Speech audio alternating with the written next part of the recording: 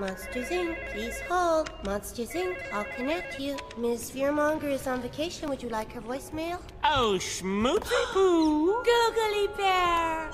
Happy birthday. Oh, Googly Woogly, you remembered! Hey, Sully Wully. Oh, hey, Celia. Will ya? Happy birthday. Thanks. So, uh, are we going anywhere special tonight? I, I just got us into a little place called, um, Harryhausen's.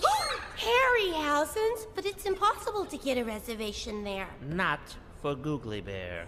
I will see you at quitting time and not a minute later. Okay, sweetheart. Think romantical thoughts. You and me, me and you, both of us together.